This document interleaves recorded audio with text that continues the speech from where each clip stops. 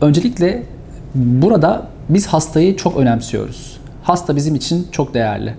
Ee, hastanın istekleri, beklentilerini karşılamak bizim en önemli görevimiz. Bu anlamda hastamızın e, beklentilerini öncelikli olarak iyice anlıyoruz, dinliyoruz. E, tıbbi olarak uygunluğuna karar verdikten sonra uygun bir saç çizimi gerçekleştirip hastamızı operasyona alıyoruz.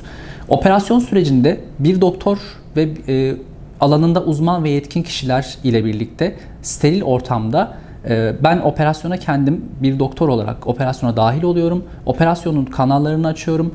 E, diğer tekniklerde DHI yönteminde operasyonda bizzat e, implant kısmında bulunuyorum. Hastamızın operasyonu bittikten sonra ve her şey tüm süreç tamamlandıktan sonra hastamızı sıkı bir takibe alıyoruz. Yani belli zamanlarda belli periyotlarla hastamızı hastanemize tekrar çağırıyoruz gerekli kontrollerini yapıyoruz, gerekli öner önerilerde bulunuyoruz hastamıza e, ve hastamız takip edildiğini e, net bir şekilde hissediyor.